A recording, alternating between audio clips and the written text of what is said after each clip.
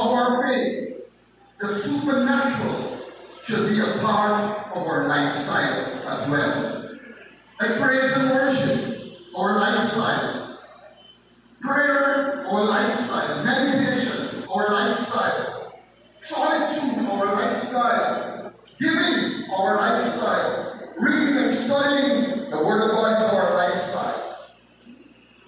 But allow me, brothers and sisters, for a moment to share this personal experience as a backdrop